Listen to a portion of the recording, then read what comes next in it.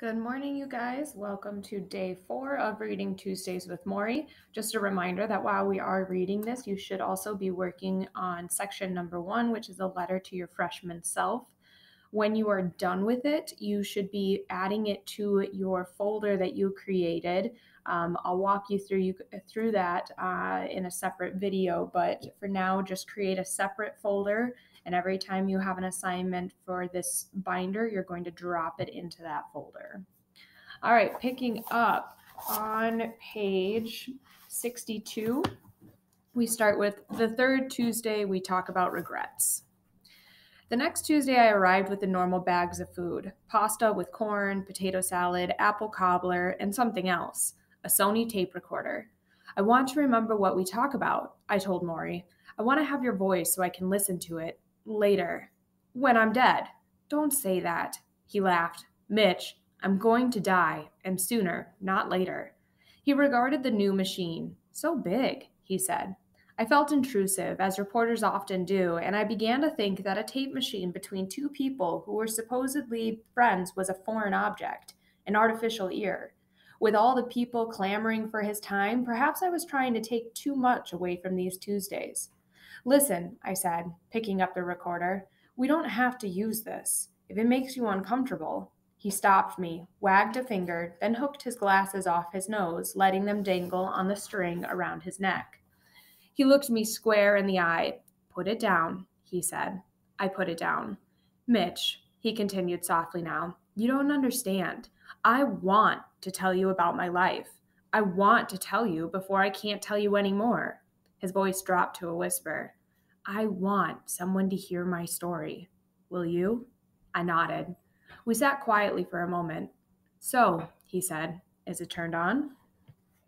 Now, the truth is, that tape recorder was more than nostalgia. I was losing Morrie. We were all losing Morrie. His family, his friends, his ex students, his fellow professors, his pals from the political discussion groups that he loved so much, his former dance partners, all of us. And I suppose tapes, like photographs and videos, are a desperate attempt to steal something from Death's suitcase. But it was also becoming clear to me, through his courage, his humor, his patience, and his openness, that Morrie was lo- looking at life from some very different place than anyone else I knew a healthier place, a more sensible place, and he was about to die. If some mystical clarity of thought came when you look death in the eye, then I knew Morrie wanted to share it, and I wanted to remember it for as long as I could. The first time I saw Morrie on Nightline, I wondered what regrets he had once he knew his death was imminent. Did he lament lost friends? Would he have done much differently? Selfishly, I wondered if I were in his shoes, would I be consumed with sad thoughts of all that I had missed? Would I regret the secrets I kept hidden? When I mentioned this to Morrie, he nodded. It's what everyone worries about, isn't it? What if today were my last day on earth?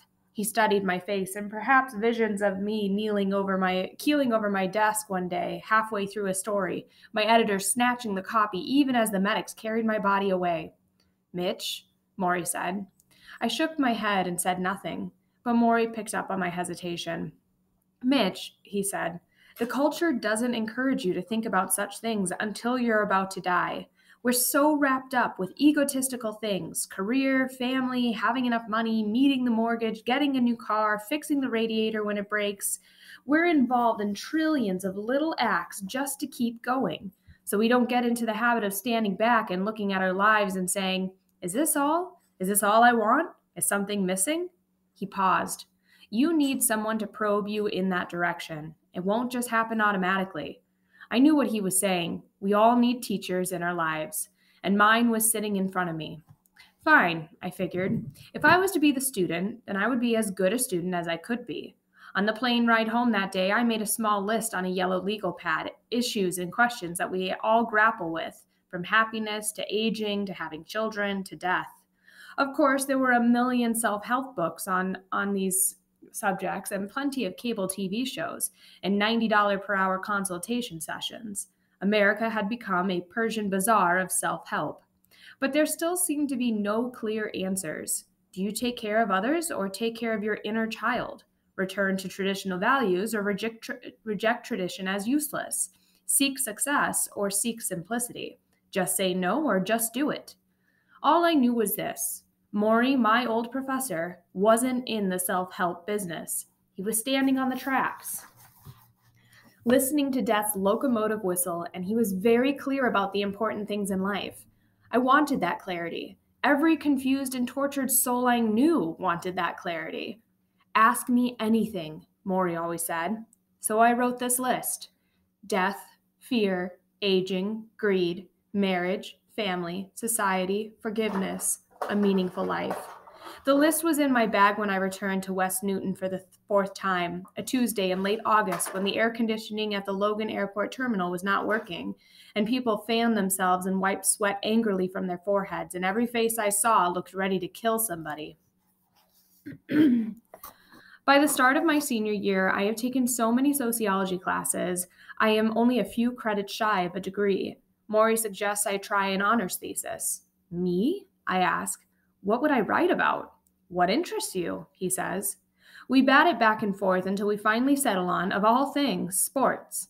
I begin a year long project on how football in America has become ritualistic, almost a religion, an opiate for the masses. I have no idea that this is training for my future career. I only know it gives me another once a week session with Morrie. And with his help, by spring, I have a 112 page thesis, researched, footnoted, documented, and neatly bound in black leather. I show it to Morrie with the pride of a little leaguer rounding the bases on his first home run. Congratulations, Morrie says. I grin as he leafs through it, and I glance around his office the shelves of books, the hardwood floor, the throw rug, the couch. I think to myself that I have sat just about everywhere there is to sit in this room. I don't know, Mitch, Morrie muses, adjusting his glasses as he reads. With work like this, we may have to get you back here for grad school. Yeah, right, I say. I snicker, but the idea is momentarily appealing. Part of me is scared of leaving school. Part of me wants to go desperately. Tension of opposites. I watch Morrie as he reads my thesis and wonder what the big world will be like out there. The audiovisual part two. The Nightline show had done a follow up story on Morrie, partly because the reception for the first show had been so, so, strong. This time, when the cameraman and producers came through the door, they already felt like family. And Koppel himself was noticeably warmer. There was no feeling out process, no interview before the interview. As warm up, Koppel and Morrie exchanged stories about their childhood backgrounds. Koppel spoke of growing up in England, and Morrie spoke of growing up in the Bronx. Morrie wore a long sleeved blue shirt. He was almost always chilly, even when it was 90 degrees outside. But Koppel removed his jacket and did the interview in his in shirt and tie. It was as if Morrie was breaking him down one layer at a time. You look fine, Koppel said when the tape began to roll. That's what everybody tells me, Morrie said. You sound fine. That's what everybody tells me. So, how do you know things are going downhill? Morrie sighed. Nobody can know it but me, Ted, but I know it. And as he spoke, it became obvious. He was not waving his hands to make a point as freely as he had in their first conversation. He had trouble pronouncing certain words. The L sound came, seemed to get caught in his throat. In a few more months, he might no longer speak at all. Here's how my emotions go, Morrie told Koppel. When I have people and friends here, I'm very up. The loving relationships maintain me. But there are days when I am depressed. Let me not deceive you. I see certain things going and I feel a sense of dread. What am I going to do without my hands? What happens when I can't speak? Swallowing, I don't care so much about. So they feed me through a tube. So what? But my voice, my hands, they're such an essential part of me. I talk with my voice, I gesture with my hands. This is how I give to people. How will you give when you can no longer speak? Koppel asked. Morrie shrugged. Maybe I'll have everyone ask me yes or no questions. It was such a simple answer that Koppel had to smile. He asked Morrie about silence. He mentioned a dear friend Morrie had, Maury Stein, who had first sent Morrie's aphorisms to the Boston Globe. They had been together at Brandeis since the early 60s. Now Stein was going deaf. Koppel imagined the two men together one day, one unable to speak, the other unable to hear. What would that be like? We will hold hands, Morrie said, and there will be a lot of love passing between us. Ted, we've had 35 years of friendship. You don't need speech or hearing to feel that. Before the show ended, Morrie read Koppel one of the letters he'd received. Since the first Nightline program, there had been a great deal of mail. One particular letter came from a school teacher in Pennsylvania who taught a special class of nine children. Every child in the class had suffered the death of a parent. Here's what I sent her back, Morrie told Koppel, perching his glasses gingerly on his nose and ears. Dear Barbara, I was very moved by your letter. I feel the work you have done with the children who have lost a parent is very important. I also lost a parent at an early age. Suddenly, with the camera still humming, Morrie adjusted the glasses. He stopped, bit his lip, and began to choke up. Tears fell down his nose. I lost my mother when I was a child, and it was quite a blow to me. I wish I'd had a group like yours where I would be have been able to talk about my sorrows. I would have joined this your group because his voice cracked because I was so lonely. Morrie, Koppel said, that was 70 years ago your mother died. The pain still goes on? You bet, Morrie whispered. The professor. He was eight years old. A telegram came from the hospital, and since his father, a Russian immigrant, could not read English, Morrie had to break the news, reading his mother's death notice like a student in front of the, cl- of the class. We regret to inform you, he began. On the morning of the funeral, Morrie's relatives came down the steps of his tenement building on the poor Lower East Side of Manhattan. The men wore dark suits, the women wore veils. The kids in the neighborhood were going off to school, and as they passed, Morrie looked, looked down, ashamed that his classmates would see him this way. One of his aunts, a heavy set woman, grabbed Morrie and began to wail. What will you do without your mother? What will become of you? Morrie burst into tears. His classmates ran away. At the cemetery, Morrie watched as they shoveled dirt into his mother's grave. He tried to recall the tender moments they had shared when she was alive. She had operated a candy store until she got sick, after which she mostly slept or sat by the window, looking frail and weak. Sometimes she would yell out for her son to get her some medicine, and young Morrie, playing kick stickball in the street, would pretend he did not hear her. In his mind, he believed he could make the illness go away by ignoring it. How else can a child confront death? Morrie's father, whom everyone called Charlie, had come to America to escape the Russian army. He worked in the fur business, but was constantly out of a job. Uneducated and barely able to speak English, he was terribly poor, and the family was on public assistance much of the time. Their apartment was a dark, cramped, depressing place behind the candy store. They had no luxuries, no car. Sometimes, to make money, Morrie and his younger brother David would wash porch steps together for a nickel. After their mother's death, the two boys were sent off to a small hotel in the Connecticut woods where several families shared a large cabin and a communal kitchen. The fresh air might be good for the children, the relatives thought. Morrie and David had never seen so much greenery, and they ran and played in the fields. One night after dinner, they went for a walk and it began to rain. Rather than come inside, they splashed around for hours. The next morning, when they awoke, Morrie hopped out of bed. Come on, he said to his brother. Get up. I can't. What do you mean? David's face was panicked. I can't move.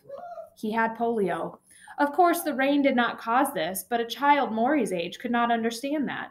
For a long time, as his brother was taken back and forth to a special medical home and was forced to wear braces on his legs, which left him limping, Morrie felt responsible. So in the mornings he went to synagogue by himself because his father was not a religious man, and he stood among the swaying men in their long black coats, and he asked God to take care of his dead mother and his sick brother. And in the afternoons, he stood at the bottom of the subway steps and hawked magazines, turning whatever money he made over to his family to buy food. In the evenings, he watched his father eat in silence, hoping for, but never getting, a show of affection, communication, warmth. At nine years old, he felt as if the weight of a mountain were on his shoulders. But a saving em- embrace came into Morrie's life the following year his new stepmother, Eva. She was a short Romanian immigrant with plain features, curly brown hair, and the energy of two women. She had a glow that warmed the otherwise murky atmosphere his father created. She talked when her new husband was silent. She sang songs to the children at night. Morrie took comfort in her soothing voice, her school lessons, her, st- her strong character. When his brother returned from the medical home, still wearing leg braces from the polio, the two of them shared a rollaway bed in the kitchen of their apartment, and Eva would kiss them good night. Morrie waited on those kisses like a puppy waits on milk, and he felt deep down that he had a mother again.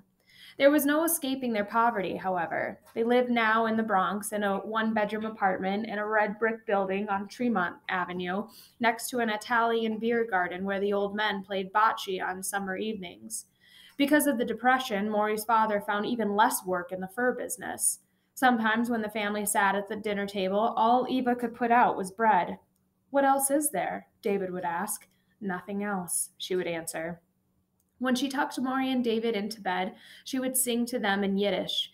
Even the songs were sad and poor. There was one about a girl trying to sell her cigarettes. Please buy my cigarettes. They are dry, not wet by rain. Take pity on me. Take pity on me. Still, despite their circumstances, Morrie was taught to love and to care and to learn. Eva would accept nothing less than excellence in school because she saw education as the only antidote to their poverty. She herself went to night school to improve her English. Morrie's love for education was hatched in her arms. He studied at night by the lamp at the kitchen table, and in the mornings he would go to synagogue to say Yizkor, the memorial prayer for the dead, for his mother. He did this to keep her memory alive. Incredibly, Morrie had been told by his father never to talk about her. Charlie wanted young David to think Eva was his natural mother. It was a terrible burden to Morrie. For years, the only evidence Morrie had of his mother was the telegram announcing her death. He had hidden it the day it arrived. He would keep it the rest of his life. When Morrie was a teenager, his father took him to a fur factory where he worked. This was during the Depression. The idea was to get Maury a job.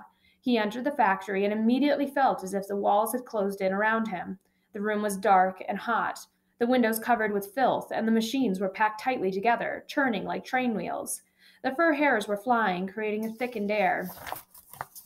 And the workers, sewing the pelts together, were bent over their needles as the boss marched up and down the rows, screaming for them to go faster. Morrie could barely breathe. He stood next to his father, frozen with fear, hoping the boss wouldn't scream at him too. During lunch break, his father took Morrie to the boss and pushed him in, fr- in front of him, asking if there was any work for his son. But there was barely enough work for the adult laborers, and no one was giving it up. This, for Morrie, was a blessing. He hated that place. he made another vow that he kept to the end of his life.